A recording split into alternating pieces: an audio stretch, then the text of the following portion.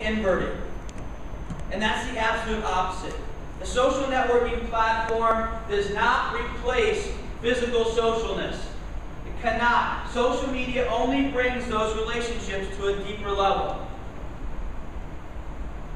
Look at those pictures. Well, you know what? By the way, I had a, that is an awesome photo, I think. And it's and let think about obviously there's alcohol.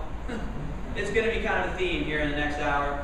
Um, but where am I positioned? In the center. And what are we doing?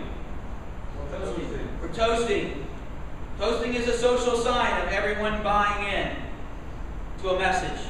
It's like a handshake, hug, a signature, some basic things in our environment that say to the world, wrap it up in a big wrapper and put a bow on it. I didn't do that. That's not by accident. When the camera came out, I put myself in the middle. And, when, and then I raised my glass.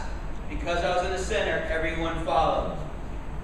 But that picture says a lot. You call it weird and creepy, but I'm the one up here standing here talking about social media, and you're not. You got to come to terms with it and get used to it. And when you take a photograph, try to position yourself in the middle, put your clients on both sides of you. It's a control thing.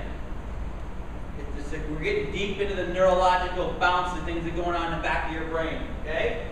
The benefits of social networking is stay in front of your clients and prospects.